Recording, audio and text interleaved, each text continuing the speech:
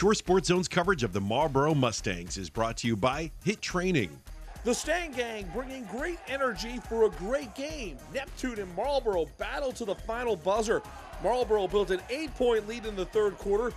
PJ Ringel nearly had a triple double 16 points, 10 boards, 7 steals. It's 29 21 Mustangs. But Neptune rallies. Jared Kimbrough is one of the top big men in the Shore Conference. He had 12 points and 11 boards. Great work in the paint.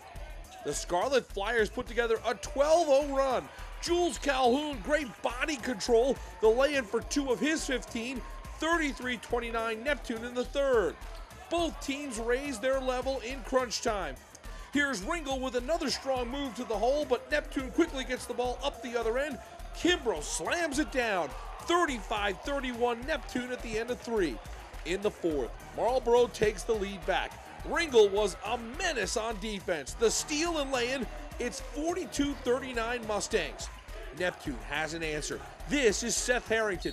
Count the basket and the foul. He completes the three point play, and we're tied at 42. Final minute of play, tied at 44. Kimbrough finds Harrington on the backdoor cut. Harrington puts the Scarlet Flyers in front by two. 12 seconds to go. Neptune up two. Calhoun misses the front end of the one and one. Marlboro has the rebound. They quickly push it up the floor. The Mustangs get it inside to Dylan Kaufman. The sophomore draws the foul with 4.7 seconds to go.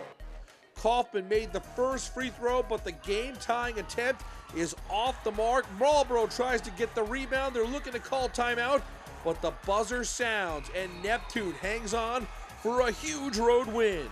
48 to 47 is your final. Great game played by both teams.